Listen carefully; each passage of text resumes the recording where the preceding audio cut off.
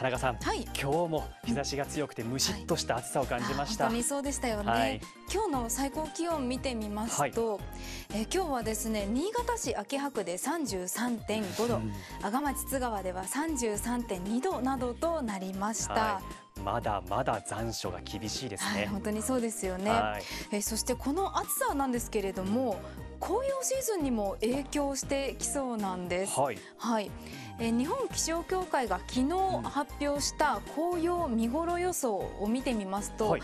県内で予想されているのは弥彦公園でして今年は11月15日頃に見頃を迎えそうです。はい、で弥彦公園はですね例年ですと11月の10日前後が見頃となるそうなんですけれども、今年はまあ9月に入っても厳しい残暑が続いていますので全県的に見ても例年と比べて今年は紅葉シーズンの到来がやや遅くなりそうです。そうですね。もみじ狩りを楽しむのはい。まだまだ先といったようなところですかね。はい。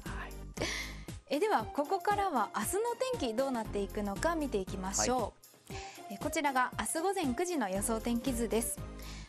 明日は日本海に伸びるこの前線に向かって南から暖かく湿った空気が流れ込んでくるでしょう。えまた前線はですねゆっくりと南下してきますので県内天気が下り坂で午後ほど雲が広がりやすくところどころで雨が降りそうです。はい、明日の天気の移り変わりを見ていきましょう。こちらが明日の朝6時の予想です。朝は広い範囲で晴れ間が出るでしょう。ただ動かしていきますとえ昼頃まではその後日差しが届くんですが午後3時頃になるとこのようにうん。上越や佐渡を中心にところどころで雨雲が湧いてきそうです。はい、でさらにその後夜になるとあちらこちらで雨となりますのでうん。外出の際は忘れずに傘をお持ちください。そうですね。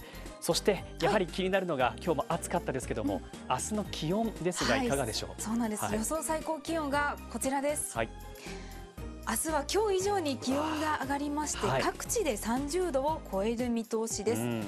え長岡市や湯沢町阿賀町では猛暑日となるでしょう、はい、その他の各地も平年と比べて大幅に気温が高く真夏並みのところがほとんどですから、改めて熱中症など体調管理にご注意ください、はい。